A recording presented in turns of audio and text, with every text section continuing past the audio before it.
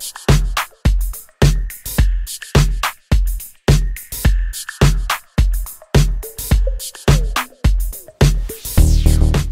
video is going to cover days two and three. Yes. We're currently at the end of uh, day three. Yes. So it's going to be, I guess, a mix of both, of those days, days yeah. of the things that that we did. So right. Yeah. So yesterday was day two. We started out at 9:30.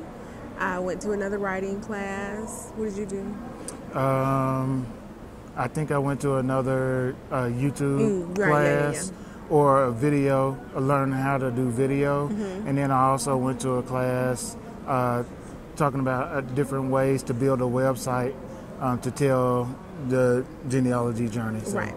And um, we also went to the coach's corner, which Right, yeah. is a little consultation with a professional genealogist. I was able to set up those appointments prior to us getting here. And so um, the first one I did, and it was um, for one of my relatives, and it was actually via um, video conference. So it wasn't a live genealogist with me, it was remote. He was actually in Wisconsin. Um, and unfortunately, I wasn't able to find out very much information during that consultation, but it was just neat to talk to somebody like a professional and do it. Right. Um, and then later in the day, we went back, and Phillip had an appointment but it was with my ancestor. Um, and he, she, and this one was with an actual person here um, in Utah. So she was able to walk through the records that I had um, and what I was looking for. And she suggested that I go over to the family um, history library down the street and look up the Alabama marriage records so I could get a definitive date, um, age on my ancestor. Um, so that that consultation was really good, I thought. Yeah, and, you know, I went into that thinking they were going to already have looked up the information. Me too, me too. And and give it to you. You know what you asked for. Because I did the Because I you the gave them- a week ago. Right, but you gave them Information information, of what I had, of what you had and what you were looking for. what I was looking for. So I thought that they would do some pre work, Right. Um, since I had to make my appointment in advance, but they didn't, um, which is fine. I mean, it's it was free. We didn't have to pay for it, so my expectation was pretty low anyway. Right. But the second consultation um, was very beneficial, and I really enjoyed. And she gave me some very good in, information and advice on Yeah. where I can go on my next steps. When you think about it, though, with all the people they have for four days coming through mm-hmm. there, they can't possibly look up everything for everybody. Right. You know. And it was only And I didn't think about that, you know, because, you know, I was just like, okay, they're going to give you the information you're looking Yeah. for, but it wasn't. And they do it in know. 20 minute it's okay. So imagine how many people they did in one day. Yeah, and they help you. They help like lead you down the right path. Where to go. and kind of help you and say, you know, you probably should look here. Your next if you haven't, Mhm. you probably should go to this website or that website. Have you considered looking at this type of church record? Right. So just more information to kind of perspective. yeah, kind of help guide you a little bit. I thought it is what I would good, say. yeah. Which is why they call it the coach's Co- corner. Yeah. So, I would, if I ever were to, to return, or um, if I knew somebody that was going, I would definitely suggest that they go. It's, I mean, it's 20 minutes. You don't have to pay for it. Um, it's a professional genealogist, and you never know what they could offer you. right. So, so what else did we do? Um, I went to the relative race oh, right. Yeah. Which is and I was able to, time. yeah, and I was super excited. You can see the pictures um, on my blog. Um, I was super excited. They had the red car out there, and I was able to get into the car, and I could see how they had the cameras and stuff set up in the car. Um, and then I played one of the games that I didn't win, um, but it was really cool. Dan wasn't at the booth when I went by there, but um, I did go. They had a session which was question and answers from the audience to um, two teams from last season, um, Team Red and Team Black from season four were at that session, and that was yesterday also. And it was totally packed. It, they had an overflow room. right. That's the first class that I've been to all at RootsTech that was actually completely full, and they had a, a overflow room. I'm sure it's happened. I just wasn't in any of those classes. Right. And I was in another class at the same time.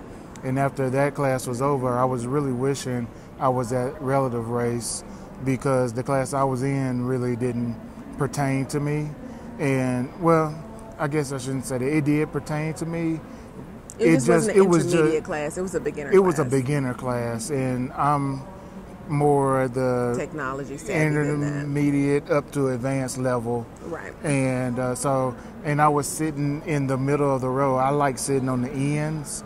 So and but I got there uh, not late. I was there like 15, 10 to 15 minutes early, but the room was already packed of people. So I had to sit in the middle, and we sat there, and I couldn't get out.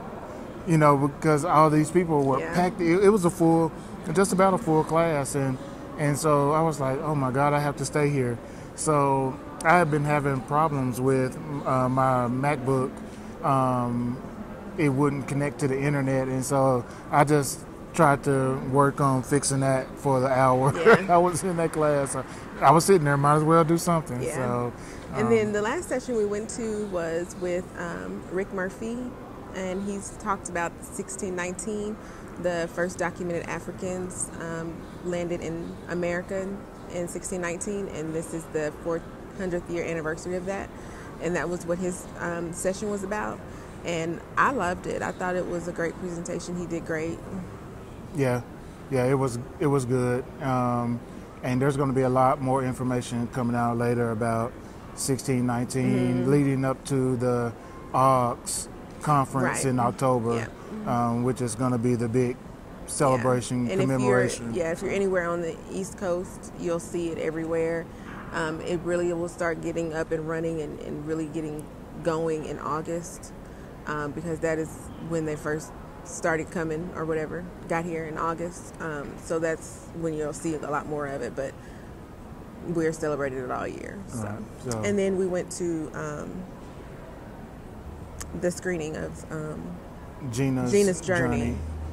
Uh, a story uh, story about uh, a lady named Regina Mason. Mm-hmm. It was her story of her tracking down her Three- four, three or four times, three or four remember. time uh, Great-grandfather. great grandfather and what he went through when he was enslaved and how he became free. and what she went through during her research to be able to tell his story. Right, and so there was a, a movie that uh, she had uh, produced. Uh, she has a book out um, Mm-hmm. as well, and so the movie is based on her book.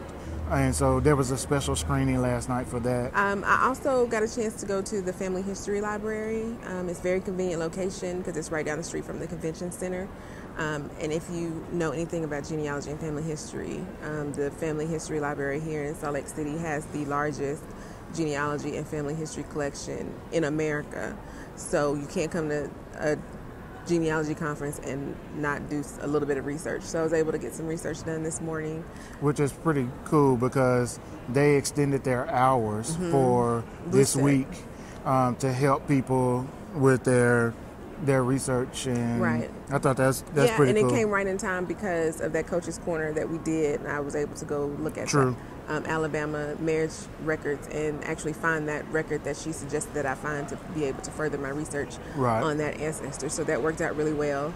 Um, also, I was able to volunteer at um, the Sons and Daughters of the U.S. Middle Passage Lineage Society. I'm a member of that organization. They have a booth here, um, so I volunteered some of my time to be able to answer people's questions that were stopping by, and that was really. Um, it was really fun and informative, and it just reminds me that I do know a lot more than I give myself credit for because I was able to answer a lot of variety of questions, not just about our organization, but about genealogy research and African American research in general. So that was I was happy about that. And while she did that, um, I kind of was working on some things to where I volunteer some time with AUX, the African American Historical and Genealogical Society. Um, I work on some of their YouTube uh, uh, videos and also their Facebook. So I was able to get some of that work done, at Yeah. least as much as I could with a MacBook that won't connect to the internet in He this made place. he made it work. He he got some stuff done. Some stuff, but there's plenty of work I got to do. So. So we did. We it's been busy. Um, we've gotten a lot done. We've been able to learn a lot. I've been able to meet a lot of people. Have you been able to meet? Yeah, today I met more people because I was sitting more, Mm-hmm. a little bit more than what I have the past two days. and people were you know coming and sitting down at my table. Oh, yeah. and Okay. you know.